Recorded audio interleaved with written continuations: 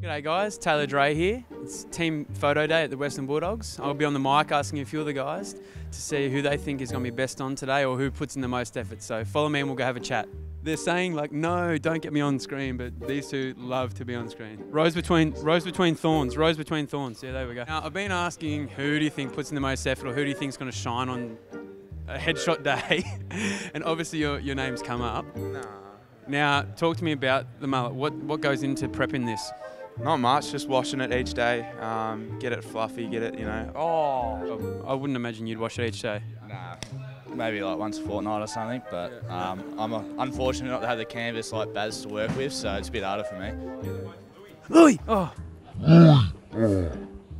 Why are you so flighty all the time? Oh, he's so scared. Who you reckon performs best on a, on a photo day? Um, to be honest, like there's a sleeper in Jackson Trengrove. I think he got a haircut at like 9 p.m. last night just to make sure he's looking good today. And I heard he put some essential oils in the beard and like really got himself in good nick. Is that true? yeah, I reckon he's looking pretty smick at the minute. Who's giving the most grief about the uniform, about the socks not fitting right, or whatever?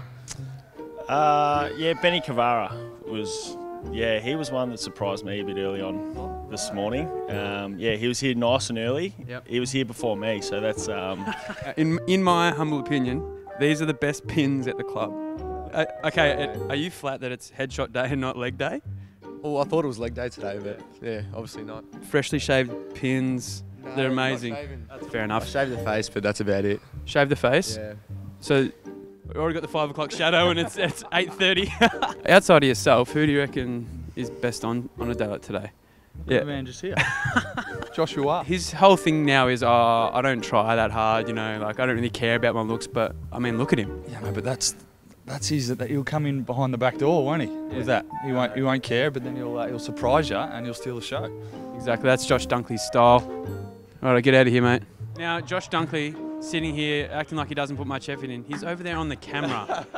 he obviously wants vision of him taking photos so he can put it on the gram. I've asked everyone, you know, who do they think is going to thrive on a day t- like today?